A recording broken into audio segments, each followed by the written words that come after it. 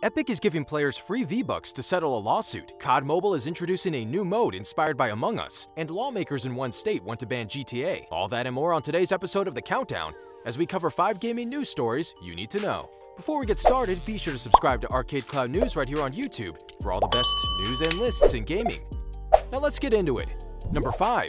Free Black Ops have you been looking to check out Call of Duty Black Ops Cold War, but you didn't want to drop 60 bucks on another new game? Well, you're in luck. From February 25th until March 4th, Black Ops Cold War's online multiplayer and zombies mode will be completely free to play. The promotion is in place to celebrate the launch of Cold War Season 2, and there's actually a ton of content that's going to be available. For starters, Cold War's brand new large-scale zombies mode, Outbreak, is available completely for free, and PlayStation players will also have access to a two-player co-op zombies mode called Onslaught. If you're not into zombies and you just want to experience some good old-fashioned COD multiplayer, there's plenty of that too. Black Ops Cold War will be free for a full week, so don't miss out. Number 4.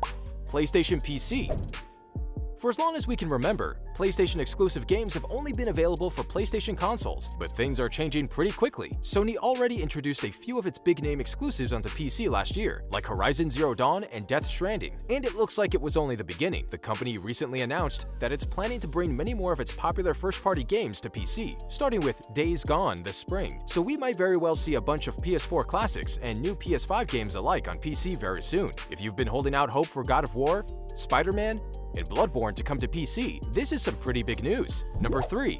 Free V-Bucks up until 2019, Fortnite would offer loot llamas with the collection of random cosmetic items for a fee. Seeing as there's no way of knowing what would come in the llamas, Epic faced a class action lawsuit claiming the company was taking advantage of players. Now, to make up for this, Epic is giving all of those players their money back. That's right, if you purchased a randomized loot llama on your Fortnite account, you'll be awarded 1000 V-Bucks on top of keeping the items you received. So if you bought a ton of these llamas back in the day, you might want to log into your account and check your V-Bucks balance. Who would have thought that loot llama you bought in 2017 would turn into into new skins and cosmetic items in 2021. Shout out to Epic for doing right by the Fortnite community. Number 2.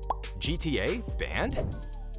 The GTA series has received a ton of criticism over the years for its violence, and it looks like lawmakers are once again looking to ban the game. Carjackings in the city of Chicago have increased 135% over the past year, and a handful of Illinois lawmakers are pointing the blame at Rockstar's massively successful open-world game. What makes the story even crazier is the fact that many of the carjackers are under the age of 18, with children as young as 12 years old getting arrested for stealing cars. GTA 5 is already rated M for mature, but it seems like some people feel as if more needs to be done to prevent children from playing it. Number 1.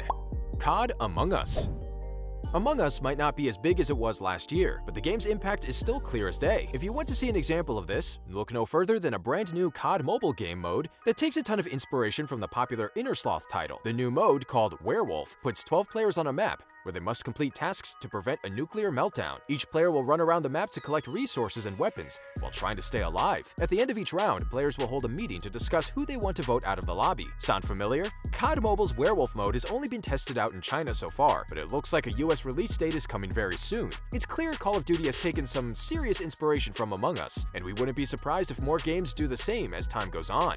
And that covers our list of 5 gaming news stories you need to know. What games do you want to see get a mode like Among Us? Let us know in the comments down below. Make sure to share this video with your friends and click that bell so you know when we upload. Don't forget to subscribe to Arcade Cloud News right here on YouTube for more of the best news and lists in gaming. As always, thanks for watching.